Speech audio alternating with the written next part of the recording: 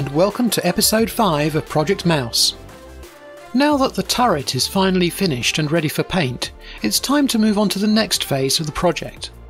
Recreating the Maus was something I was hesitant to take on, as there were a lot of aspects of this build that I really didn't know how to resolve.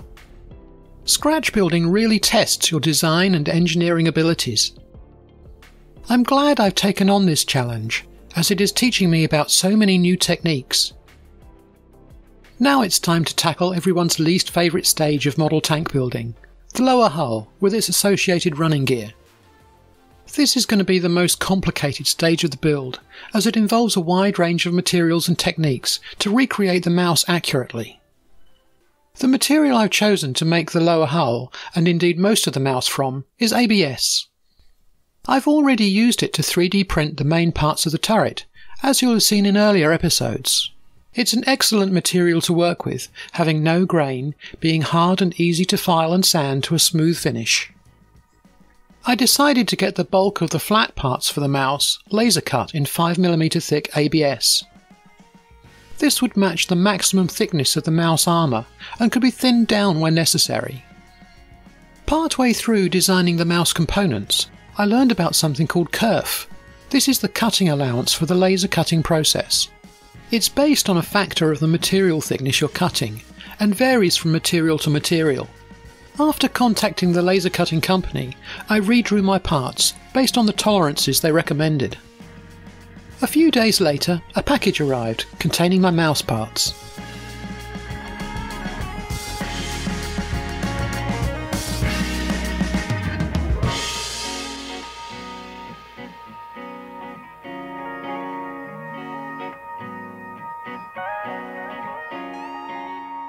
They were well packed and came with a protective paper and plastic covering. So now I could start putting the hull together, except it wasn't quite that easy. The cutting allowance I used was a bit on the high side, which meant that all the parts were slightly tighter than planned. This actually wasn't a problem, as the ABS could be easily filed down to allow the parts to fit together. This was a lot better than not allowing for the cutting allowance, and the parts being undersized and a loose fit. Eventually, the parts fitted together well. Leaving the paper on at this stage was a really good idea. Labelling all the tabs and slots was very useful and helped so much with test fitting and reassembly. I marked the ends of the frames where they needed to be thinned down to the correct thickness. M3 studding was used at this stage for the idler and drive axles, just to hold the parts together. To hang the Maus suspension and road wheels, I designed some brass beams which were CNC machined by a local engineering firm. These would be more than strong enough to support the Maus. I found some brass that was close to size, and after it was machined, the edges were reprofiled to match the prototype. Now it was time to finally assemble the parts of the hull. I started by inserting the suspension beams into one side of the hull. Some of these were tighter than I'd planned, but that was no bad thing.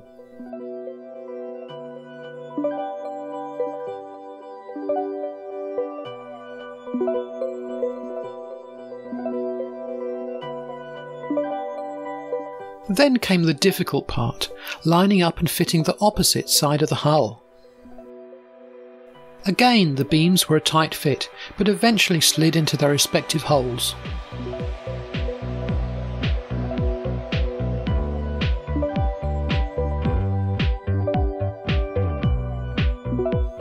Then it was just a case of installing the ends and the floor.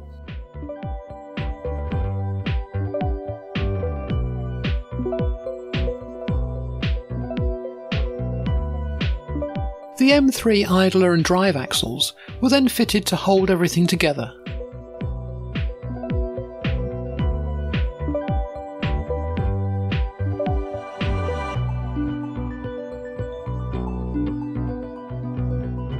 So, with the beams now installed, it was finally time to glue everything in place. I'd been recommended a glue called Plastic Magic, which bonds ABS, it's a typical liquid cement, applied with a brush. I applied it to all the mating surfaces and then fitted the parts together before running more solvent along the seams.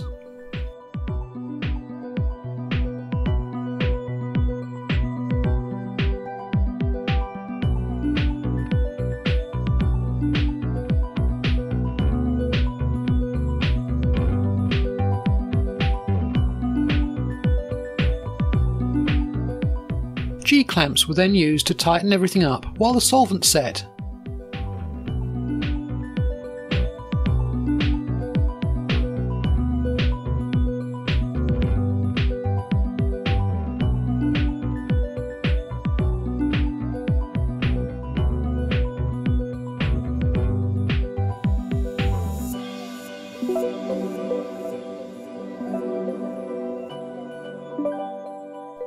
With the solvent fully cured, the clamps were removed and the hull examined. The brass suspension beams were not glued in place, but are absolutely square and solid, with no movement at all. You can see the frame ends are also now the correct thickness. There is still some reprofiling to do, but I'm very happy with the result. I later went round and applied the solvent to the laser cut edges of the ABS, which sealed them really well. Now I can move on to the parts for the drivetrain. Here you can see all the parts in my CAD software for 3D printing. The pale and dark grey parts will be cast in pewter, the blue parts will remain 3D prints. The parts are then exported to my slicer software to be prepared for 3D printing. Here they are checked for errors and support material is added. And these are the parts fresh from the printer. To see more about the 3D printer I use, check out Sarah's vlog number 9. Once the parts are removed from the build plate, the support material has to be trimmed away and the parts cleaned up. I've already made a start on cleaning up the parts and have many ready for mould making to be cast in pewter but that'll have to wait for the next episode of Project Maus.